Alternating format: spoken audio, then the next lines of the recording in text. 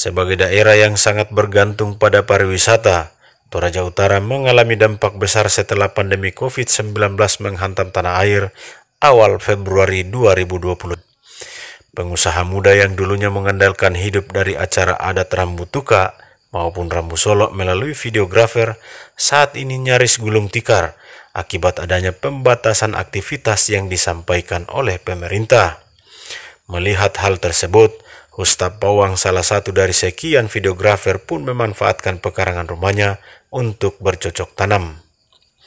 Berbekal bantuan bibit yang dibagikan oleh Dinas Pertanian Kabupaten Toraja Utara, Uta sapaan akrabnya yang sebelumnya melayani video syuting acara Rambu Tuka maupun Rambu Solo saat ini sudah mulai merasakan manfaat dari berkebun. Pelan tapi pasti, ya saat ini Hustap Pawang mulai menuai hasil dari berkebun.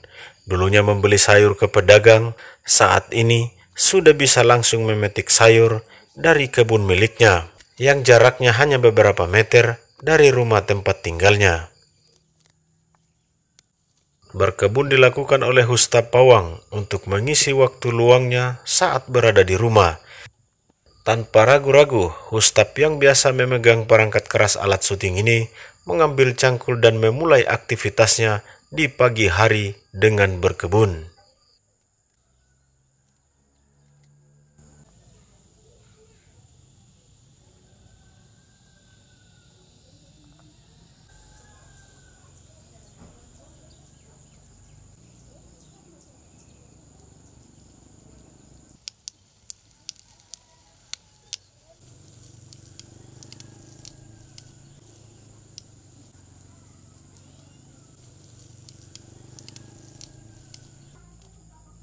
Ya awalnya saya sebagai seorang pekerja videografer.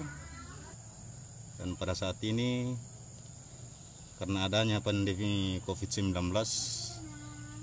kami sebagai pekerja seni atau videografer tidak dapat melaksanakan pekerjaan itu lagi karena adanya pembatasan ya sosial berskala besar. Dan pada saat ini ya kami sebagai warga Toraja Utara diberikan bantuan mengenai bibit. Ya beberapa bibit yang diberikan kepada kami dari Dinas Pertanian. Salah satunya kangkung ini. Ya syukur kami manfaatkan sekarang karena dalam keadaan seperti ini kami sangat sulit untuk mendapatkan pekerjaan terutama pekerjaan kami sebagai videografer. Dan sekarang ini ya kami menanam memanfaatkan lahan di samping rumah dan di belakang rumah. Ya syukurlah pada saat ini ya